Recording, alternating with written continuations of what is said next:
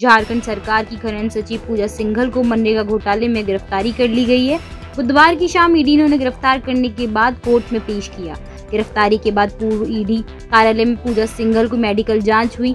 ED ने अब तक की जाँच में पूजा सिंघल व उनके पति अभिषेक जांग को मनी लॉन्ड्रिंग मामले में दोषी पाया है। ईडी आई पूजा सिंघल को पाँच दिनों की रिमांड पर लेकर पूछताछ करेगी।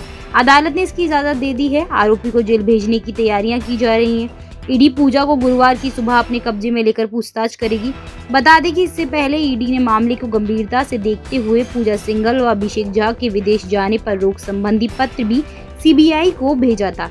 इसमें लुकआउट सर्कुलर जारी करने की मांग की गई थी। ईडी ने पूजा सिंघल और उनके पति के करीबी सीए सुमन कुमार की ओर से पूछताछ के दौरान किए गए बयानों के आधार को मानते हुए मनी लॉन्ड्रिंग मामले में शामिल पाया था।